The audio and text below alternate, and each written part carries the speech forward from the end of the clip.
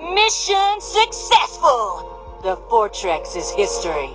It worked? You blew it up? Ah!